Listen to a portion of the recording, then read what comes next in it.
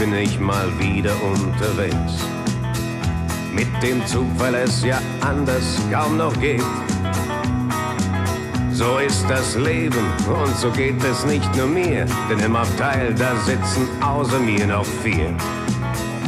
Rechts von mir der Mann ein wenig korpulent.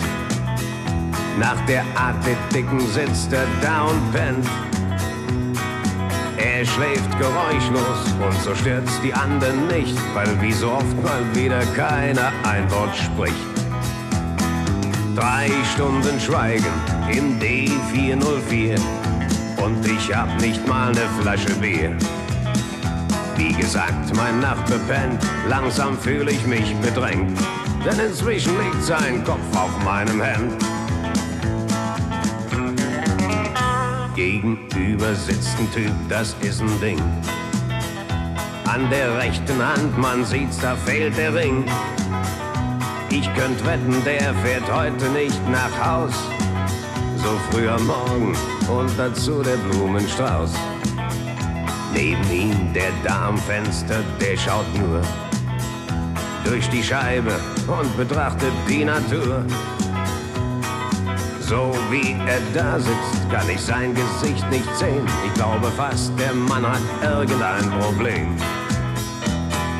Drei Stunden Schweigen im D404. Kein Wunder, wenn ich Selbstgespräche führe. Fang ich laut zu reden an, denkt bestimmt gleich jeder Mann. Wieso quatscht der Kerl nicht von der Seite an? Und da wäre noch die süße kleine Frau. Vielleicht auch Fräulein, wer weiß das heute schon genau.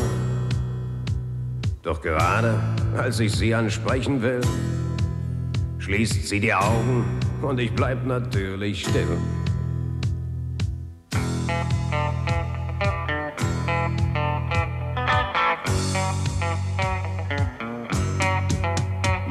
Der Zug zum letzten Mal, wir steigen aus.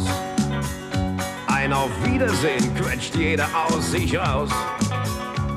Das fehlte gerade noch, denk ich für mich. Nein, besten Dank, denn schließlich bin ich doch kein Fisch.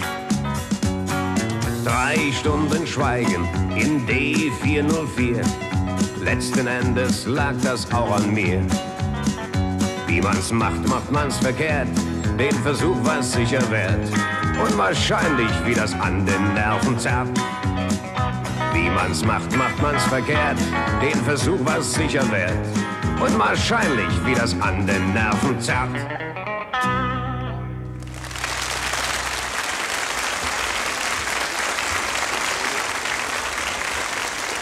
So, das waren zwischenmenschliche Beziehungen mal auf einer ganz anderen Ebene. Ohne Herz, Schmerz, äh, kein Mondschien, nicht einmal eine Nachtigall sang. Das war Peter Czernig als Reisender im D404 der Deutschen Reisebahn mit Kommunikationsproblemen. Keine Probleme gibt es bei der Gruppe GES. Denn erstens geht mit Musik alles besser, zweitens verbindet Musik und drittens, also es ist überhaupt kein Wunder, dass bei GES alles gut läuft. Obwohl ihr neuer Titel heißt, welch ein Wunder.